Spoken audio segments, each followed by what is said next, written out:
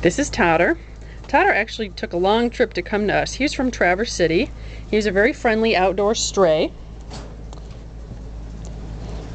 And the people who were taking care of him moved and couldn't take them couldn't take this outdoor stray with them. He's relatively new, likes to hide sometimes in his little hole, is very good about taking his medicine.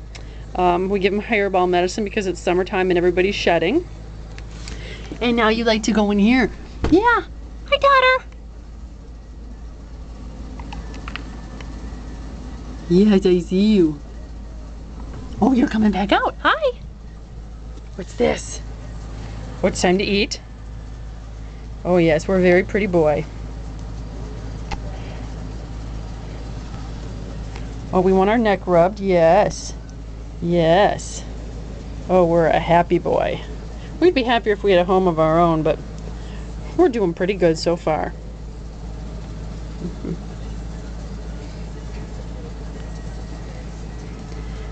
Thank you, Totter.